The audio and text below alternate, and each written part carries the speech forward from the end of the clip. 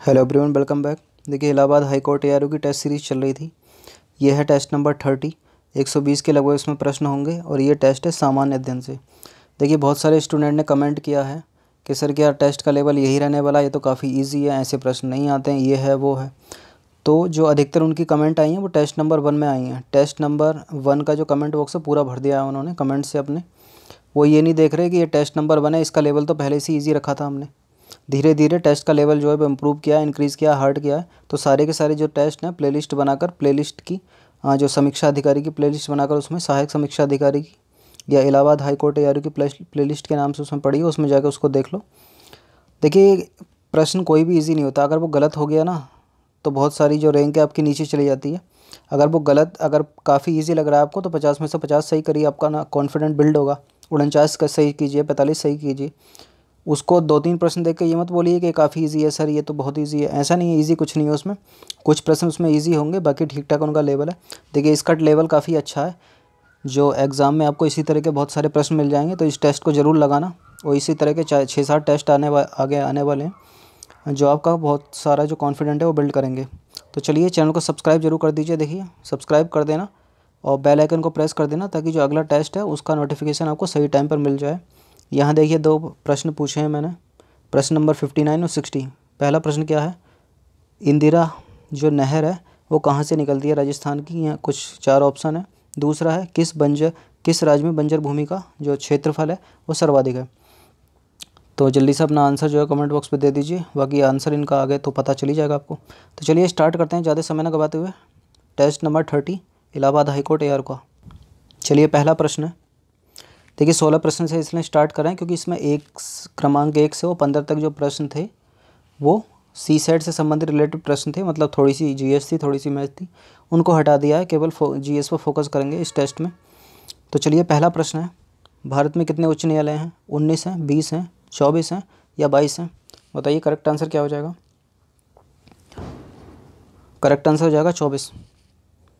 क्या चौबीस सही है? वर्तमान में चौबीस उच्च न्यायालय हैं क्या? गलत। मैं यही देख रहा था कौन कौन सो रहा है कौन कौन जग रहा है। देखिए, वर्तमान में ना तो उन्नीस है, ना चौबीस हैं, ना बीस हैं, ना बाईस हैं। वर्तमान में हो गए उच्च न्यायालय पच्चीस। कितने हो गए हैं? पच्चीस। तो सो मत, अच्छे से टेस्ट लगाओ, जागते रहो। पच्चीसवा उच्च न्यायालय कौन सा बना है? आंध्र प्रदेश में बना है। कौन सा उच्च न्यायालय है पच्चीसवा आंध्र प्रदेश उच्च न्यायालय है। अभी तक हमारे कितने उच्च न्यायालय थे? चौबीस उच्च न्यायालय थे। तो याद रखना ये। चलिए, अगला प्रश्न है सत्रवा। निम्नलिखित में से कौन संसद के दोनों सदनों में किसी भी कार्रवाई में भाग ले सकता है? कौन ले सकता है बताइए? तो ये ले सकता महान्यायवादी। कौन? महान्यायवादी। ये इसको बोलते हैं अटॉर्नी जनरल ऑफ़ इंडिया किस संविधान में है ये? अनुच्छेद सेवेंटी सिक्स। किसमें है? अनुच्छेद सेवेंटी सिक्स। महाधिवक्ता कौन होता है? महाधिवक्ता होता है राज्य को कानूनी विषयों पर सलाह देने वाला। और महान्यायवादी कौन होगा? केंद्र सरकार को कानूनी विषयों पर सलाह देने वाला। उम्मीद है समझ में आ गया होगा। अगला प्रश्न। राज्यपालों के संदर्भ में निम्नलिखित में से कौन सा कथन सही नहीं है? चलिए एक करके देखते हैं क्या क्या बोल रहा है स्टेटमेंट वह राज्य की विधायिका का अंग होता है। वह राज्य की विधायिका का अंग होता है करेक्ट है भाई। वह मृत्यु दंड की सज़ा को क्षमा कर सकता है, गलत है। वह राज्य के उच्च न्यायालयों के न्यायाधीशों की नियुक्ति नहीं करता, बिल्कुल करेक्ट है, क्योंकि राष्ट्रपति करते हैं। अगला है, उसके पास आपातकालीन शक्तियाँ नहीं है, ये भी करेक्ट है, राष्ट्रपति के पास है। तो सिंपल है। क्या सही नहीं है राज्यपाल के बारे में? तो दूसरा सही नहीं है, क्योंकि वह मृत्युदंड की क्षमा को माफ़ कर सकता है, ये गलत है। वह नहीं कर सकता माफ़, क्योंकि मृत्युदंड की क्षमा को जो माफ़ करते हैं, वो भारत के राष्ट्रपति करते हैं। अब राज्यपाल क्या कर सकता है मृत्युदंड की सज़ा में? देखिए, उसका वो परिहार कर सकता है अनिश्चित काल के लिए उसको टाल सकता है। यह कर सकता है, वो माफ़ नहीं कर सकता। याद रखना इम्पोर्टेंट अगला प्रश्न है। भारत के संविधान में किस अनुच्छेद में अस्पृश्यता समाप्त की गई है? तो किसमें की गई है? अनुच्छेद सत्रह में की गई है। इंपॉर्टेंट है और रिपीटेड भी और काफ़ी ईजी भी। ऐसे प्रश्नों को तो गलत मत करना कम से कम। बीसवा प्रश्न है, प्राण एवं दैहिक स्वतंत्रता का संरक्षण किस अनुच्छेद से संबंधित है? बताइए करेक्ट आंसर क्या है इसका? बताइए जल्दी। तो इसका आंसर हो जाएगा बीस का। अनुच्छेद इक्कीस। अनुच्छेद इक्कीस में है, प्राण एवं दैहिक स्वतंत्रता। अगला प्रश्न है, पहले वित्त आयोग के अध्यक्ष कौन थे? बताइए कौन थे? तो ये थे के सी नियोगी। कौन थे? के सी नियोगी। देखिए, ये कुछ प्रश्न इस तरह से हैं, इनको तो आप अच्छे सारे के सारे तैयार कर ही लेना। जैसे पहले, वित्त आयोग के अध्यक्ष कौन थे? पहले प्रधानमंत्री कौन? पहला मुख्यमंत्री कौन? मतलब अगर उत्तर प्रदेश का। पहला राज्यपाल कौन? उत्तर प्रदेश का। पहले राष्ट्रपति कौन? भारत के। उपराष्ट्रपति कौन? भारत के प्रधानमंत्री सभी को पता है। तो इस तरह से प्रश्न कभी कभी पूछ लेता है। अगला प्रश्न है, उच्चतम न्यायालय के प्रथम मुख्य न्यायाधीश कौन थे? देखिए पूछ लिया। तो सभी को पता होगा हीरा लाल जेकानिया थे। उच्च न्यायालय, सर्वोच्च न्यायालय के प्रथम मुख्य न्यायाधीश। अगला प्रश्न है। निम्न में से कौन सी महिलाएँ मुख्यमंत्री के पद पर नहीं रही हैं? नंदिनी सत्यार्थी, जानकी रामचंद्रन शशिकला काकोडकर। या इनमें से कोई नहीं। बताइए क्या हो जाएगा तेईस का आंसर? तेईस का आंसर हो जाएगा यहाँ पर डी, क्योंकि ये सारी की सारी प्रधानमंत्री रही हैं तो इनमें से कोई नहीं हो जाएगा। राज्यसभा का अध्यक्ष कौन होता है, बताइए? राज्यसभा का अध्यक्ष कौन होता? है सभी को पता होगा उपराष्ट्रपति होता? है कौन होता है राज्यसभा का अध्यक्ष? उपराष्ट्रपति। अगला प्रश्न है, जम्मू कश्मीर की विधानसभा की अवधि कितनी है? बताइए, कितनी है जम्मू कश्मीर की विधानसभा की अवधि? देखिए, जो भारत के उनतीस राज्य हैं ना, उनकी सबकी अधिकतर की जो अवधि है वो पाँच वर्ष है। जो वहाँ जो मुख्यमंत्री का बनता है वो पाँच वर्ष के लिए बनता है। तो जम्मू कश्मीर की कितनी है बताइए? जम्मू कश्मीर की है छः वर्ष। एक वर्ष ज़्यादा याद रखना इसको। कितनी है जम्मू कश्मीर की? छः वर्ष। चलिए अगला देखते हैं। भारत में पंचायती राज कब प्रारंभ किया गया था? कब प्रारंभ किया गया था पंचायती राज? 1959 में सबसे पहले। कहाँ पर? नागौर। क्या है? नागौर एक ज़िला है किसका? राजस्थान का। तो राजस्थान के नागौर में पंचायती राज व्यवस्था प्रारंभ। चुनाव आयुक्त उन सत्ताईसवा प्रश्न देखते हैं। चुनाव आयुक्त की नियुक्ति कौन करता है? बताइए कौन करता है? चुनाव आयुक्त की नियुक्ति? ये करता है भारत का राष्ट्रपति। कौन करता है? भारत का राष्ट्रपति। देखिए, मैं थोड़ा एक जल्दी से डिटेल में बता देता हूँ आपको। भारत के जो राष्ट्रपति हैं, वो किन किन की नियुक्ति करते हैं? देखिए, वो महान्यायवादी की करेंगे नियुक्ति और वो करेंगे नियंत्रक एवं महालेखा परीक्षक की भी करेंगे, वो प्रधानमंत्री की वो नियुक्ति करते हैं, राज्यों के राज्यपाल की वो नियुक्ति करते हैं और जो संघ लोक सेवा आयोग है, केंद्र में उनके सदस्यों की नियुक्ति वो करेंगे, सर्वोच्च न्यायालय के मुख्य न्यायाधीश और अन्य न्यायाधीशों की नियुक्ति करेंगे और क्या करेंगे? राज्यों में जितने उच्च न्यायालय हैं, उनके मुख्य न्यायाधीश और अन्य न्यायाधीश की नियुक्ति करेंगे। तो देखिए, सब कुछ तो राष्ट्रपति ही करता है। संयुक्त अधिवेशन की अध्यक्षता जो संयुक्त अधिवेशन का जो संयुक्त सत्र बुलाता है, वो भी राष्ट्रपति बुलाता है। तो क्या नहीं करता राष्ट्रपति? सब कुछ करता है। तभी तो इसको सर्वे सर्वे बोला जाता है। चलिए अगला प्रश्न देखते हैं, अट्ठाईसवा। लोकसभा में अधिकतम कितने सदस्य हो सकते हैं, बताइए? अधिकतम बोल रहा है, कितने हो सकते हैं अधिकतम लोकसभा में सदस्य? देख लीजिए लोकसभा तो अधिकतर हो सकते हैं, अधिकतम। वो हो सकते हैं पाँच सौ बावन। कितने होते हैं? हो सकते हैं पाँच सौ बावन। अब पाँच सौ बावन कौन कौन हो सकते हैं? देखिए, पाँच सौ तीस तो राज्यों से लिए जाते हैं। पाँच सौ तीस जो हैं, वो उनतीस राज्यों से आएँगे। और जो बीस आएँगे, वो केंद्र शासित प्रदेशों से आएँगे। कितने? बीस। अब जो दो बचे, वो राष्ट्रपति चुनेंगे एंग्लो इंडियन या आंग्ल भारतीय समुदाय के लोग। तो जोड़ दो इनको कितने हो गए? पाँच सौ तीस में बीस जोड़ा, पाँच सौ पचास, दो जोड़े, पाँच सौ बावन। कितने? पाँच सौ बावन। इसलिए याद रखना इंपॉर्टेंट है। अगला प्रश्न है उनतीसवां। ईंटों की कृत्रिम मोदी या जिसको बोला जाता है ईंटों की कृत्रिम गोदी, या जिसको बोला जाता है डॉकयार्ड। वाला एकमात्र सिंधु स्थल कौन सा है, बताइए? डॉकयार्ड वाला एकमात्र सिंधु स्थल कौन सा है, देखिए। वो है लोथल। क्या है? लोथल। कहाँ पर है लोथल? गुजरात में। सिंधु घाटी सभ्यता का नगर। पानीपत की दूसरी लड़ाई किन के बीच हुई थी? इस तरह से ही प्रश्न पूछ लेगा। बताइए, किसके बीच हुई थी पानीपत की दूसरी लड़ाई? ये हुई थी अकबर और हेमू के बीच। अकबर और हेमू के बीच कौन जीता था इसमें? अकबर जीता था इसमें। चलिए अगला प्रश्न देखते हैं, कितने प्रश्न कंप्लीट हो गए हमारे? तीस हो गए, इकतीस में पे आते हैं अब। यह है इकतीसवां देखिए। क्या कहता है इकतीसवां आठ अगस्त उन्नीस सौ बयालीस, भारतीय इतिहास में महत्वपूर्ण है क्योंकि? सभी को पता होगा, भारत छोड़ो आंदोलन के लिए। क्यों है? भारत छोड़ो आंदोलन के लिए। अगला प्रश्न है बिम्बिसार के समय में मगध की राजधानी कौन सी थी? बताइए कौन सी थी बिम्बिसार के समय में मगध की राजधानी? ये थी राजगृह। कौन सी थी? राजगृह या जिसको बोला जाता है पाटलिपुत्र। अगला प्रश्न है, अंतिम मुगल सम्राट कौन था? देखिए इंपॉर्टेंट प्रश्न है और इजी भी, इसको तो कम से कम छोड़ना मत, जाने मत देना। तो यह है बहादुर शाह जफ़र। कौन है अंतिम मुगल सम्राट? बहादुर शाह जफ़र या जिसको बोला जाता है बहादुर शाह द्वितीय। अगला प्रश्न है, चौंतीसवां प्रश्न क्या कहता है? गांधी जी ने 1919 में किसके विरोध में सत्याग्रह सभा का स्थापना की थी? सत्याग्रह सभा की स्थापना की थी। बताइए, किसके विरोध में की थी 1919 में? करेक्ट आंसर हो जाएगा रोलक एक्ट रोलक एक्ट में गांधी जी ने 1919 में सत्याग्रह किया था। अगला प्रश्न है। अठारह में भारतीय राष्ट्रीय कांग्रेस का प्रथम अधिवेशन किस स्थान पर हुआ था? देखिए, सबको पता होना चाहिए बम्बई में हुआ था। इम्पोर्टेंट है और ईजी भी। अगला। अठारह सौ सत्तावन का विद्रोह सर्वप्रथम कहाँ प्रारंभ हुआ था? तो ये हुआ था मेरठ में। किसने किया था? कमेंट में लिखकर बताना। ऋग्वैदिक, आर्य किस भाषा का प्रयोग करते थे। बताइए किस भाषा का प्रयोग करते थे? ऋग्वैदिक, आर्य जो थे वो संस्कृत भाषा का प्रयोग करते थे। अशोक के कलिंग पर कब आक्रमण किया? अशोक ने कलिंग पर कब आक्रमण किया? बताइए जल्दी। अड़तीस नंबर का प्रश्न है और इम्पोर्टेंट प्रश्न है। ये किया था दो सौ इकसठ ईसा पूर्व। कब किया था? दो सौ इकसठ ईसा पूर्व। नेक्स्ट प्रश्न की तरफ़ बढ़ते हैं उनतालीस नंबर का। तंजौर में एक प्रसिद्ध मंदिर है। राज राजेश्वर मंदिर। निर्माण बताइए किसने करवाया उसका? तंजौर के राज राजेश्वर मंदिर का निर्माण किसने करवाया? ये करवाया राजराज प्रथम ने। किसने करवाया? सॉरी राजराज प्रथम ने। चलिए चालीस नंबर के प्रश्न पर पढ़ते हैं। चालीसवा प्रश्न क्या कहता है? देखिए, हल्का से जूम मारते हैं इसको। चलिए जी। किस मुग़ल सम्राट ने न्याय की जंजीर लगवाई? बताइए किसने लगवाई है? न्याय की जंजीर, ऐसी भी कोई जंजीर होती है? जहांगीर ने लगवाई थी। देखिए इंटरलिंक कर लो, जंजीर का। जहाँ जय जा जा, इस तरह से याद हो जाएगा। चलिए अगला देखते हैं। इकतालीसवां प्रश्न क्या कहता है? गुर्जर प्रतिहार वंश का संस्थापक कौन था?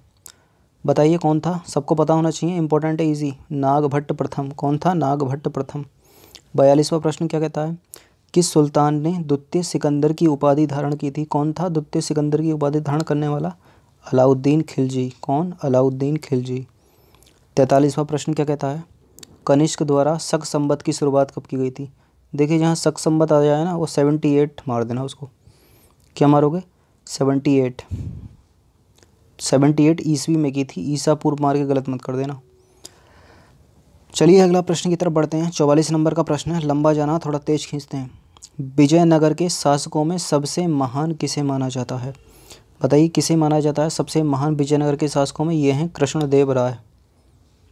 अगला प्रश्न है गांधार महाजनपद की राजधानी कौन सी थी, बताइए? कौन सी थी गांधार महाजनपद की राजधानी? यह थी तक्षशिला। कौन सी थी? तक्षशिला। देखिए, सोलह महाजनपद हैं, सबकी राजधानी आपको रटी होनी चाहिए। सुभाष चंद्र बोस ने किस वर्ष और किस स्थान पर आज़ाद हिंद फौज का पुनर्गठन किया था, बताइए? यह किया था, सिंगापुर में। कब किया था? 1943 में। सिंगापुर में किया था और कब किया था? 1943 में। चलिए भाई आगे बढ़ते हैं। सैंतालीसवा प्रश्न क्या कहता देखते हैं।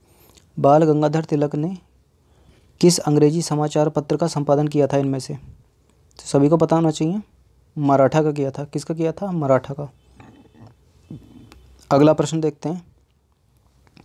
ये कौन सा प्रश्न था? सैंतालीसवां। चलो अड़तालीस पर आ जाओ जल्दी से। देखिए सिंपल है। भगत सिंह सुखदेव और राजगुरु को कब फांसी दी गई थी? तो सभी को पता होना चाहिए, तेईस मार्च उन्नीस सौ इकतीस को दी गई थी। तो यहाँ पर कहीं लिखा तेईस मार्च उन्नीस सौ इकतीस तो मार्च उन्नीस सौ इकतीस इतनी काफ़ी है तो सी करेक्ट हो गया। अगला प्रश्न है, किसे देश बंधु के नाम से जाना जाता है? देखिए, दो बंधु हैं, एक देश बंधु और एक दीन बंधु इसमें कन्फ्यूज़न मत हो जाना। जो देश बंधु हैं, वो चितरंजन दास हैं। और जो दीन बंधु हैं, वो कौन है? कमेंट बॉक्स में लिख कर बताइए, मैं नहीं बताऊँगा। अगला प्रश्न है, निम्नलिखित में से किसने सर्वप्रथम सती प्रथा का उन्मूलन किया था?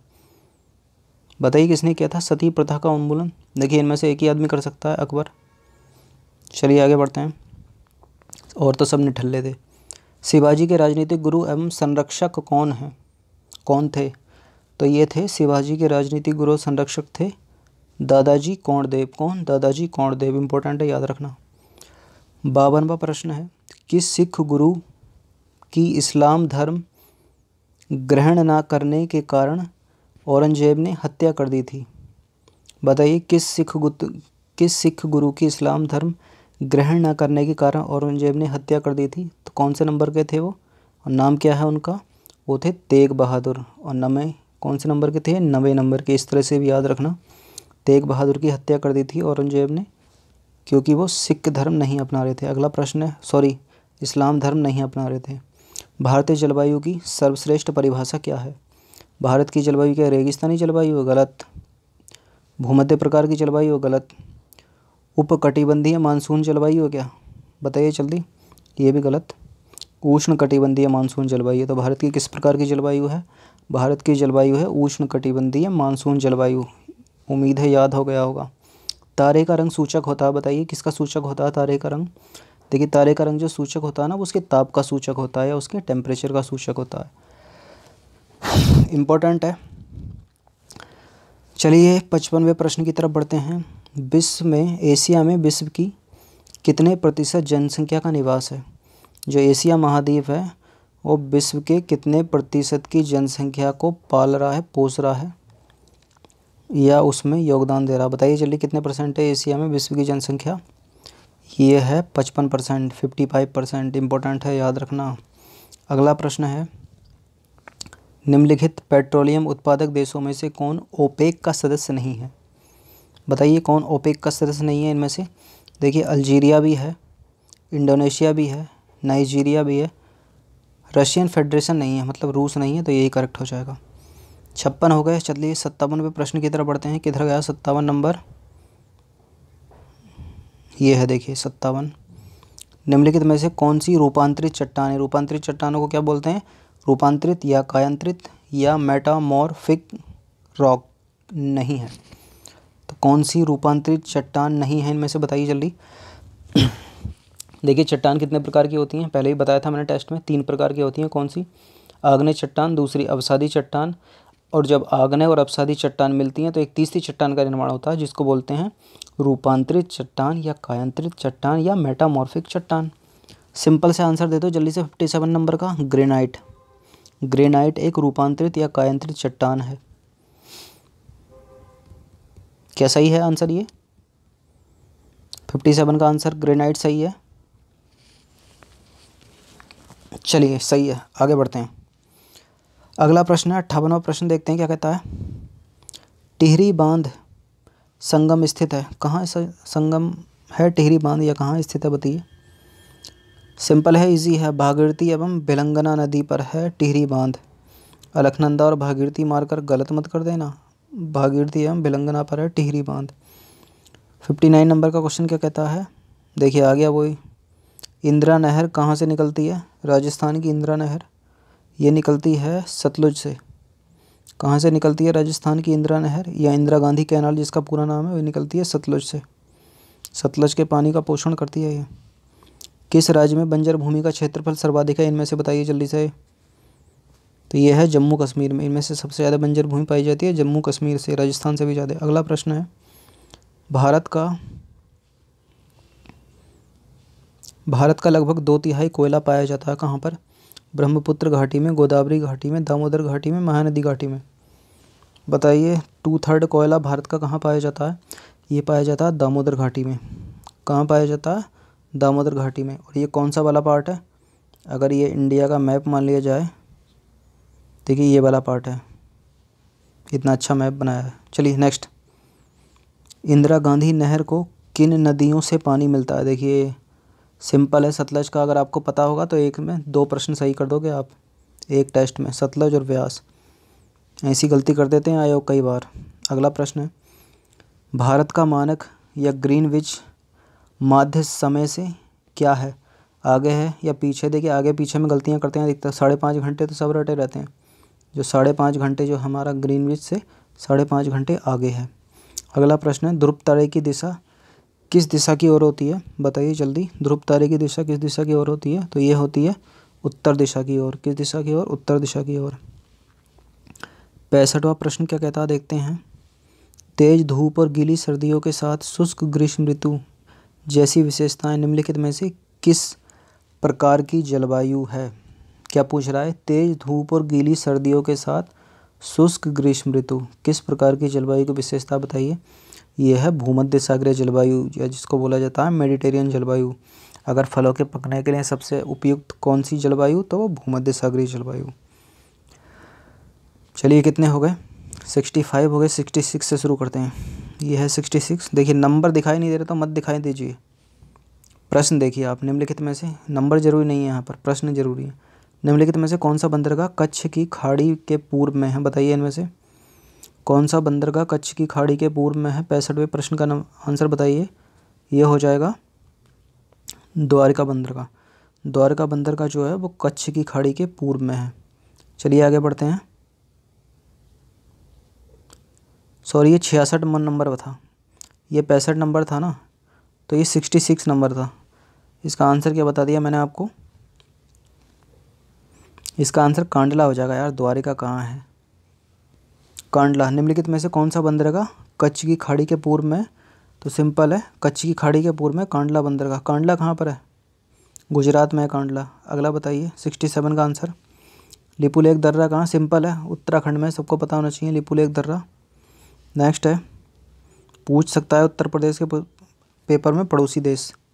कौन सा समुद्र पत्तन राउकेला स्टील संयंत्र के सबसे निकट है इनमें से? अब देखिए राउकेला स्टील जो संयंत्र है, वो कहाँ पर है? वो छत्तीसगढ़ में है। अब इनसे देख लो कौन सा निकट होगा।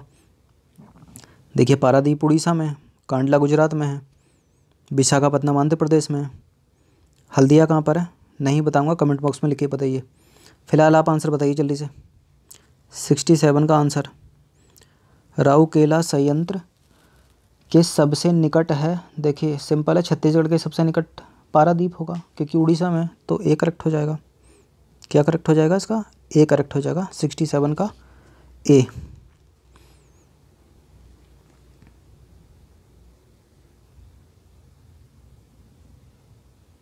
एक मिनट, ये सिक्सटी सेवन नंबर का प्रश्न है? कौन सा प्रश्न है?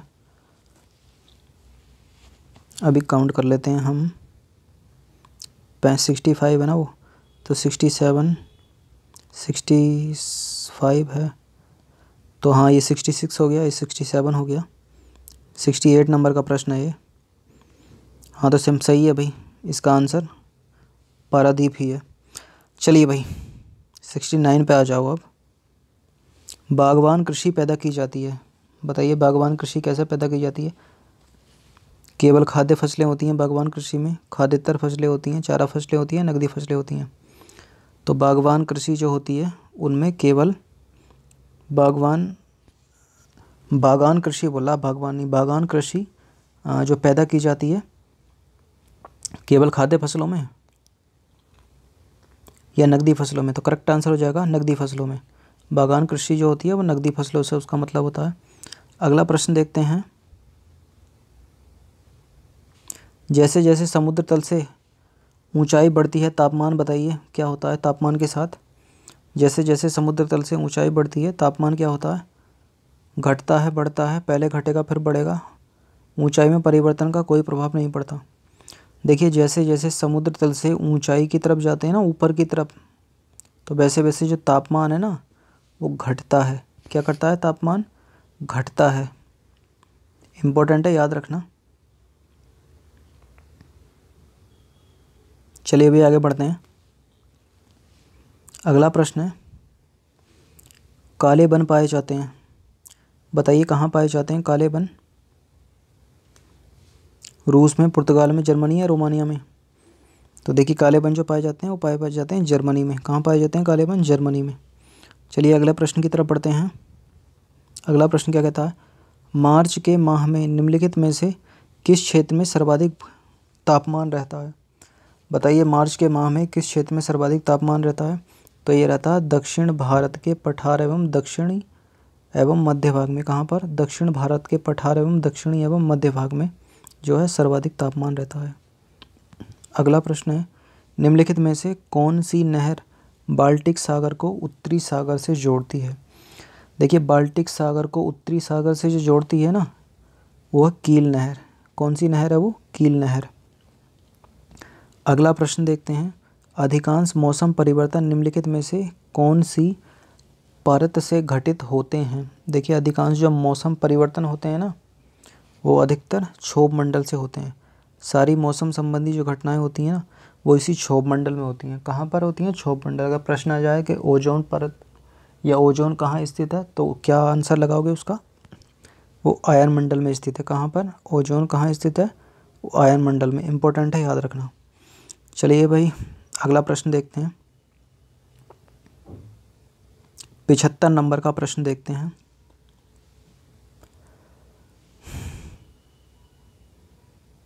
पिछहत्तर नंबर का प्रश्न क्या कहता है ये?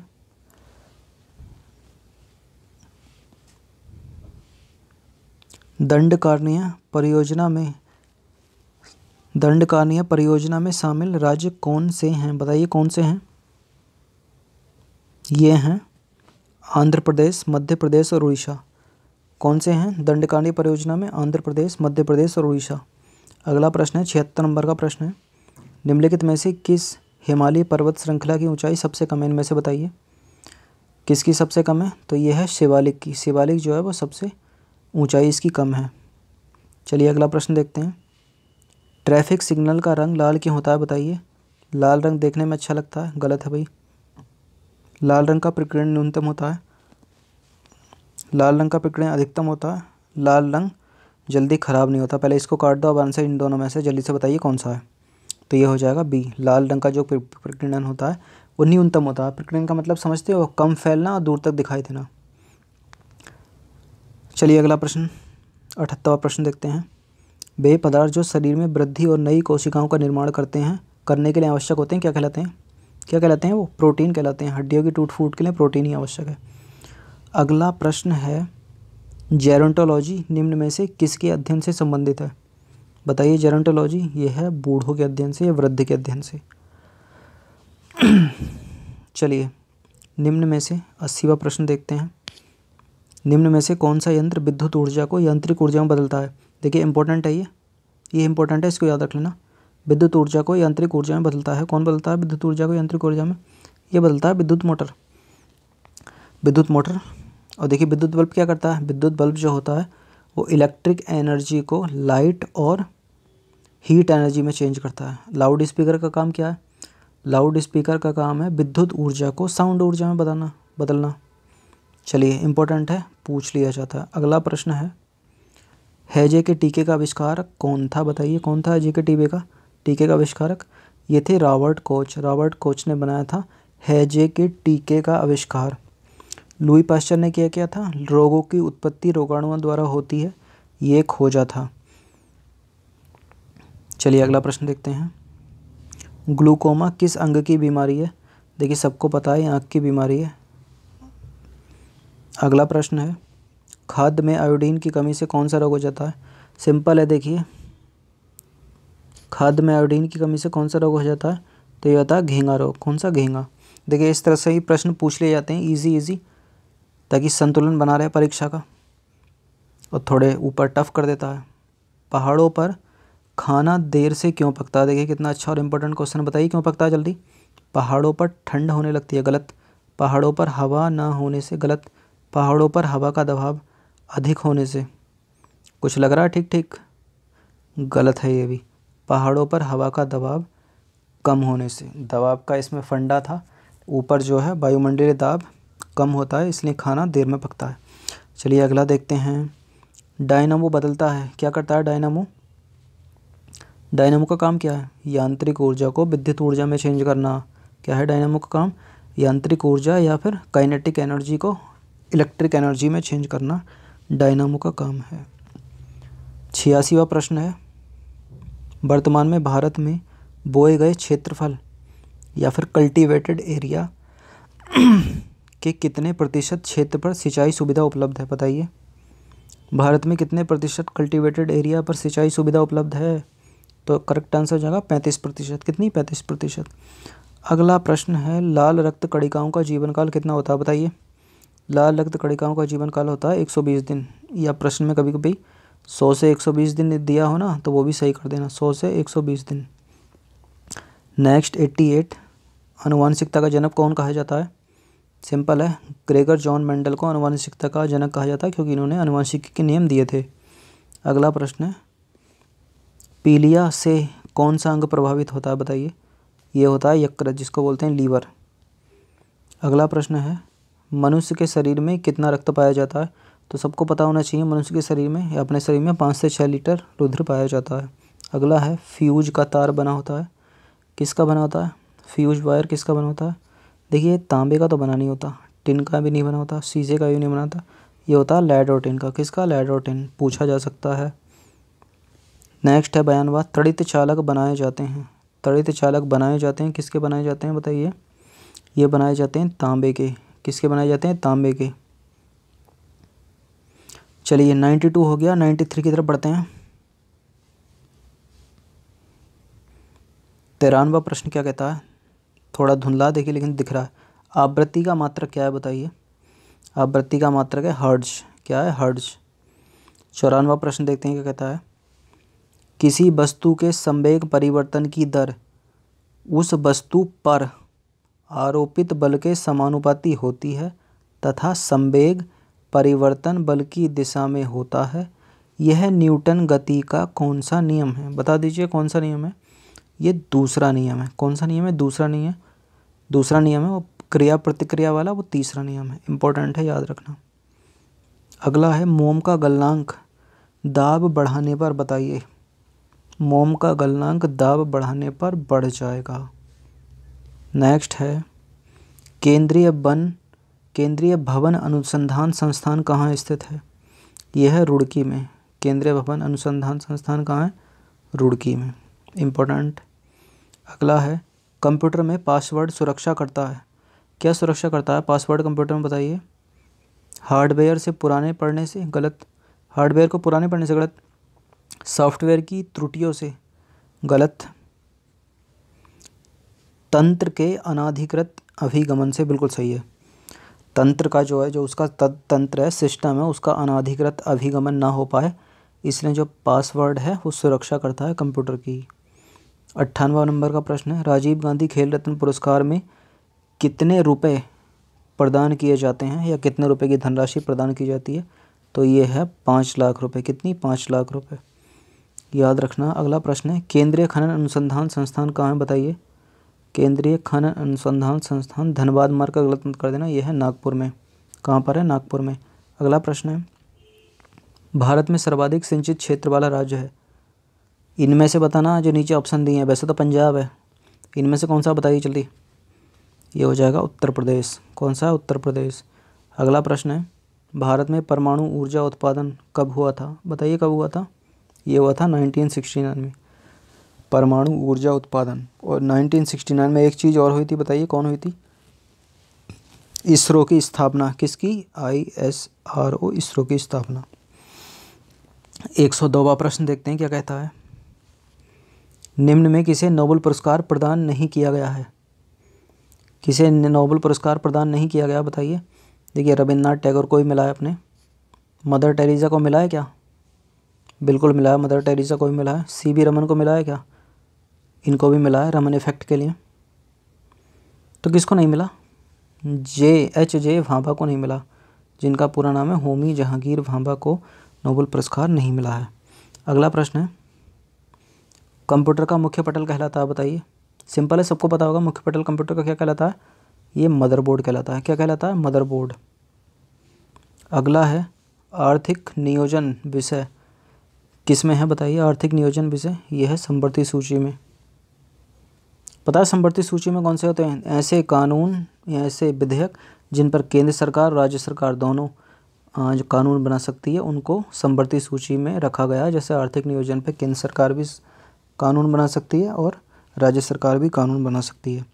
और ऐसे जिन पर कोई कानून नहीं बना सकता, उनको अवशिष्ट में रखा जाता है। किसमें अवशिष्ट में, अवशिष्ट विषय में। अगला प्रश्न है, सार्वजनिक क्षेत्र से क्या तात्पर्य बताइए? सार्वजनिक क्षेत्र से क्या तात्पर्य है?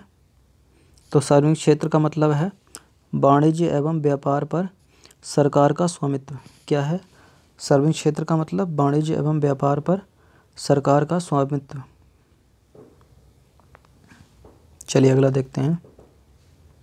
एक सौ छः नंबर का प्रश्न क्या कहता है? सीमेंट के उत्पादन में किस राज्य का पहला स्थान है, बताइए। इनमें से पहला स्थान किसका? सीमेंट के उत्पादन में। यह राजस्थान का पहला स्थान।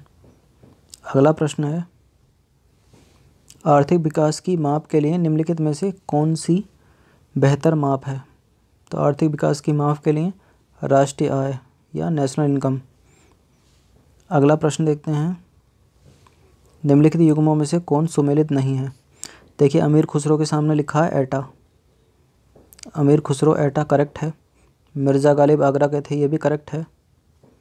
जोश मलिहाबाद के थे, ये भी करेक्ट है। राम प्रसाद बिस्मिल इलाहाबाद के नहीं थे। तो इसका आंसर क्या मारोगे आप? इसका आंसर मारोगे कौन सा सुमेलित नहीं है? तो इसमें डी सुमेलित नहीं है। तो 108 हो गए 109 की तरफ़ बढ़ते हैं सौ नब्बे नंबर का प्रश्न ये है, देखो। निवेश की दृष्टि से भारतीय अर्थव्यवस्था का निम्नलिखित में से सबसे बड़ा उद्योग कौन सा है? तो ये है इस्पात उद्योग या आयरन और स्टील जिसको बोला जाता है। अगला है एक सौ दसवां प्रश्न, क्या कहता है? सूचियाँ सुमेलित कर कूट का सही उत्तर चयन करना। है यहाँ लोकगीत दिए हैं या क्षेत्र दिए हैं?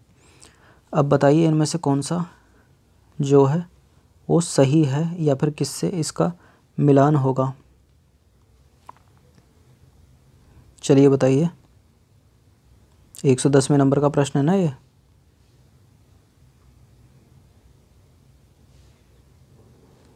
तो देखिए जो बिरहा है ना, बिरहा, वो पूर्वांचल का है।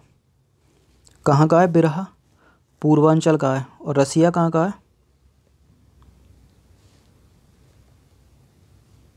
थोड़ा इसे छोटा कर लेते हैं ताकि पूरा इसका ऑप्शन भी दिख जाए। चलिए, देखिए बिरहा जो है ना, बिरहा, वो पूर्वांचल का है।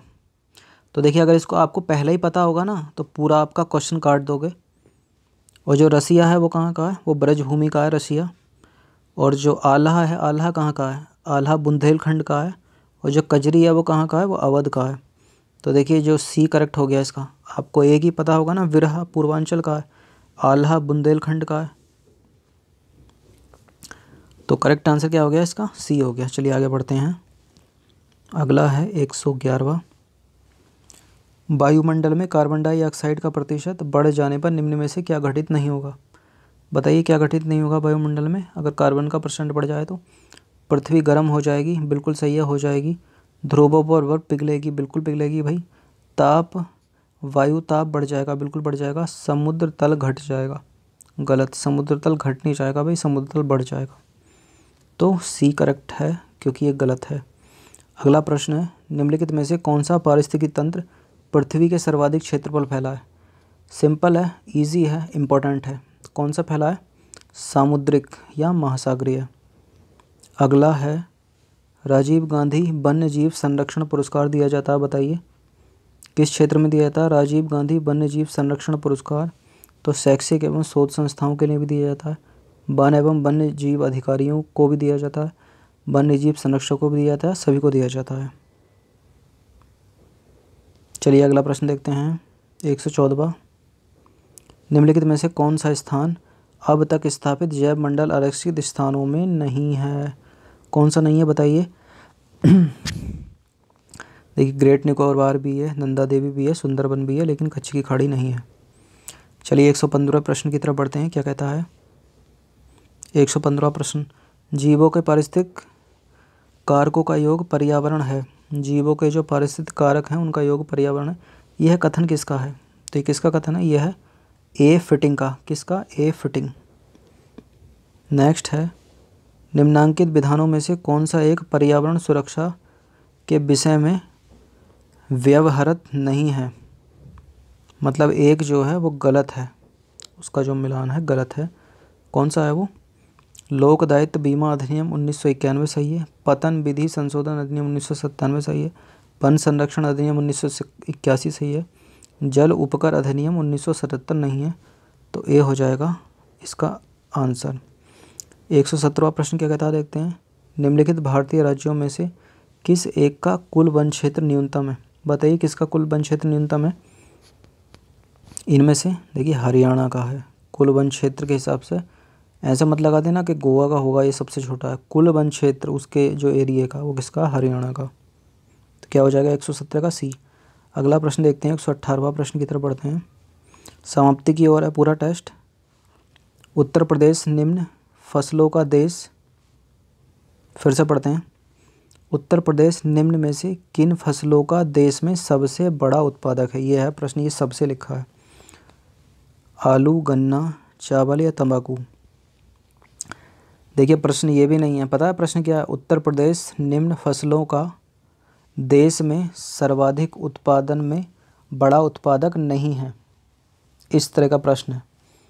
तो करेक्ट आंसर हो जाएगा इसका डी क्योंकि यहाँ पे जो उत्तर प्रदेश है ना, आलू में भी प्रथम है, गन्ने में भी प्रथम है, चावल में प्रथम है, लेकिन तंबाकू में उत्तर प्रदेश प्रथम नहीं है, बड़ा उत्पादक नहीं है। देखिए प्रश्न ही गलत है, पता है? इसके दो आंसर हैं। ना तो भारत उत्तर प्रदेश में सबसे बड़ा उत्पादक है सॉरी, ना तो भारत चावल में सबसे बड़ा उत्पादक है और ना ही तंबाकू में सबसे बड़ा उत्पादक तंबाकू में जो सबसे बड़ा उत्पादक है वो आंध्र प्रदेश है। तो 118 का यहाँ पे जो आंसर हो जाएगा ना, वो दोनों हो जाएगा। क्योंकि चावल उत्पादन में ना पश्चिम बंगाल का प्रथम स्थान है। तो इस तरह के प्रश्न में क्या करता है आयोग, या तो इनको डिलीट कर देता है, या फिर इसके दो आंसर सही कर देता है। नहीं नहीं नहीं, देखिए तो प्रश्न ही कुछ और निकला। हमने पूरा कवर ही नहीं किया। नीचे तो हमने देखा ही नहीं। चलिए फिर से पढ़ लेते हैं। नीचे तो कूट दिए हुए हैं इस पर ये तो नई चीज़ हो गई। उत्तर प्रदेश निम्न में से किन फ़सलों का देश में सबसे बड़ा उत्पादक है? तो देखिए, आलू का है और गन्ने का है। तो पहला और तीसरा सही हो गया। अब डी सही हो गया। चलिए आगे बढ़ते हैं। अगला प्रश्न है, निम्नलिखित में से कौन सा एक सुमेलित नहीं है? बताइए कौन सा एक सुमेलित नहीं है? देखिए, बायोटेक्नोलॉजी लखनऊ में है क्या? बताइए। बिल्कुल है। प्लास्टिक सिटी कानपुर को कहते हैं, बिल्कुल कहते हैं। लेदर टेक्नोलॉजी पार्क, उन्नाव में ये भी सही है। ट्रॉनिक सिटी सेंट नोएडा। नहीं, ये गलत है। ट्रॉनिक सिटी नोएडा को नहीं कहते अगला और अंतिम प्रश्न है। क्या है? उत्तर प्रदेश की सबसे लंबी नहर कौन सी है, बताइए। उत्तर प्रदेश की जो सबसे लंबी नहर है, वो है शारदा नहर। कौन सी? शारदा नहर। तो देखिए इनमें अगर उन पंद्रह प्रश्नों को निकाल दिया जाए तो 105 प्रश्न है मोस्ट इंपॉर्टेंट है, परीक्षा की दृष्टि से, इलाहाबाद हाईकोर्ट ए की दृष्टि से। इनका लेवल बहुत अच्छा होगा, आपको दिख गया होगा। अच्छे से इनका रिवीजन कर लेना सीधे सीधे इनमें से एक दो प्रश्न। अगर कोई जो मैचिंग द वर्ड में जो मिलाने वाले पूछें इनमें, उनमें से सीधा एक प्रश्न बना देगा। मान लीजिए ऐसे ही बना दीजिए कि आल्हा कहाँ पर है? तो इस तरह से या आला जनजाति कहाँ पाई जाती है? आला लोकगीत कहाँ पर होता है? तो इस तरह से प्रश्न बना के अलग से एक प्रश्न निकालता हूँ उनमें से। तो इनको अच्छे से टेस्ट को एक दो बार पूरा रिवीजन मार लेना। काफ़ी बड़ा टेस्ट हो गया। है, तीस मिनट के लगभग इसमें खिंच गया। है तो चलिए चैनल को सब्सक्राइब ज़रूर कर लेना और बेल आइकन ज़रूर दबा देना घंटी को, ताकि जो वीडियो का नोटिफिकेशन है आपको सही टाइम पर मिल जाए। धन्यवाद।